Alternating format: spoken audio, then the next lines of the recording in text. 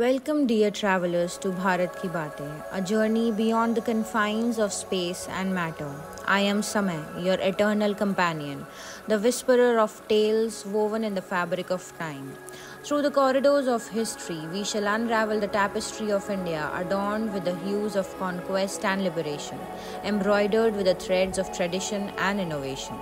From the echoes of Vedic chants to the roar of modern progress, India's story is a melody that reverberates across time and space. In this series, we delve into the triumphs and fortunate happenings of India's past and present, and do not shy away from the disasters and adversities that have shaped and continue to shape our nation. But remember, fellow travelers, for time waits for none. So come along as we embark on this timeless adventure where every conversation is a celebration of our beloved nation.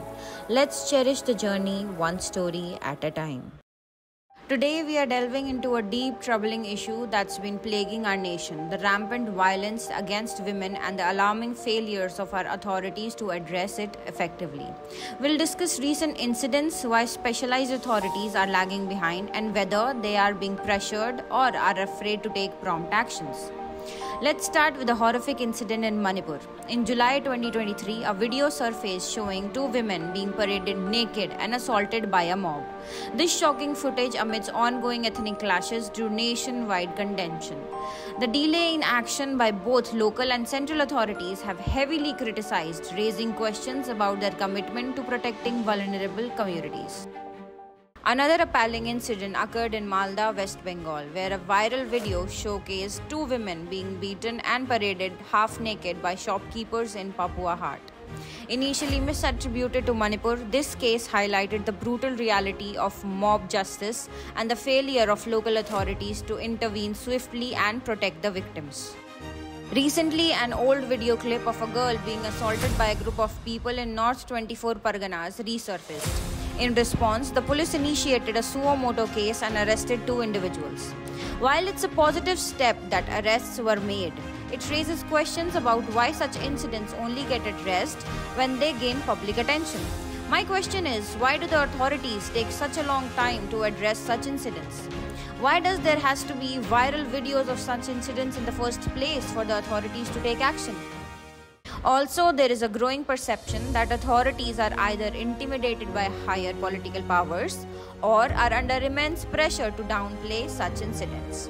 This perception weakens public trust in these institutions and emboldens perpetrators. Another significant factor is the lack of accountability within these organizations. Without stringent consequences for inaction, these authorities often fail to act swiftly and decisively.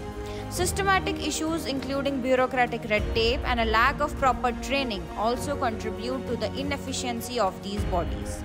The procedural delays and a lack of urgency in handling such cases of violence against women demonstrate a systematic failure that needs immediate attention. It's important to note the role of public outcry in bringing these issues to light. Social media has been a powerful tool in ensuring that these incidents do not go unnoticed. However, the reactive nature of authorities acting only when incidents go viral is deeply problematic. These cases are stark reminders of the urgent need for systematic reforms and accountability in addressing violence against women. Authorities must act decisively and independently, free from any political pressures, to ensure the safety and justice of all women. Till how long do we have to hear and see about such cases in the news? In this modern age, women in India are still facing these harrowing issues. We aspire to be the third largest economy in the world, but at what stake? What do you think is the root cause of these failures? Should there be stricter accountability measures for these authorities? Let us know your thoughts in the comments below. Finding this story interesting? Then stay tuned with the Cognizant Crow for more such videos and never let your curiosity die.